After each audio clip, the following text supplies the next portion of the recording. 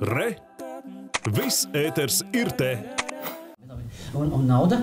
Dabūju Cik? desmit. Tūkstošus? Nē. Es no Rīgas uz Norvēģiju braucu, tāpēc, lai dabūtu 10 eiro. Bet, protams, ka tūkstoši. Aktieri Sandija Dovgāne, Anna Putniņa un Marģers Eglīnskis mēģina izrādi Briksdāles ledājs. Tā ir krimināla komēdija, ko Laura Gundera režijā skatītājiem piedāvā teātris TT. Vienlaikus tā ir Marikas Pudulas Indānes debija dramaturģijā. Savā ikdienas profesionālajā dzīvē viņa ir juriste, taču vienmēr interesējusies par teātri, tāpēc pieteicās dramaturģijas kursos.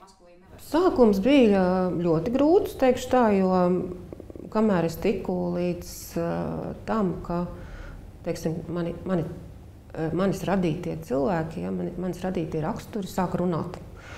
Un tad jau tas bija ļoti viegli, jo viņi paši viņi, viņi bija tik dzīvi, ka viņi sāka paši runāt, un man bija tikai jāpieraksta. Režisors un dramaturgs Lauris Gundars teica, ka katra lūga, protams, ir īpaša, bet Pudulas Indānes darbu izceļ divas kvalitātes. Tas ir žanrs, kas ir vispār liels retums ne tikai latviešu dramaturgijā.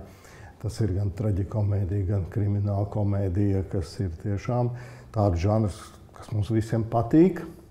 Uh, un uh, tā pašā laikā tas, protams, ir tas iepakojums. Un tā otra vērtība lūgājiem manā ieskatā ir tas, ka šajā spilgtajā un tiešām aizraujošajā iepakojumā ir iekšā stāsts par mums pašiem.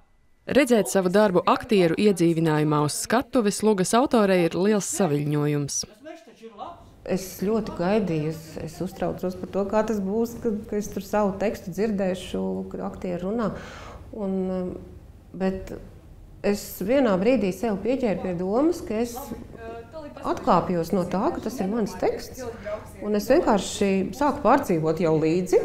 Tas tāpēc, ka tev nekas vairāk neinteresē kā tavs apķīlātais pārtiks bodītis. Un meitas kāzās pārdzēries. Ai! Es mēģinu tos jaunos dramaturgus tomēr iedrošināt, jo dramaturgs slāga nevar attīstīties, ja viņš neredz savu tekstu skatuves. Tā ir tāda nu, profesijas īpatnība. Un, nu, es ceru, ka atkal būs viens jauns dramaturgs, kuram pievērsīs uzmanību un teiks, jā, viņš var. Briksdāles ledājs pirmizrādi piedzīvo 2. augustā kino bīze telpās, kur skatītāji uz aizraujošo kriminālu komēdiju tiks gaidīti arī citos augusta vakaros. Anete Ašmane Vilsone, Lauris Dundurs, Latvijas televīzija.